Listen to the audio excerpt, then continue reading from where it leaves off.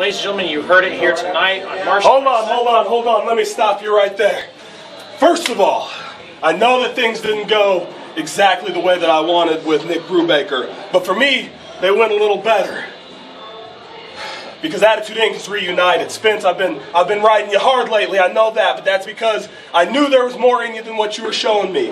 And now that I've seen that, now that I know it's real, well, Attitude Inc. is officially announcing our entrance into the March 22nd tag tournament. That's right.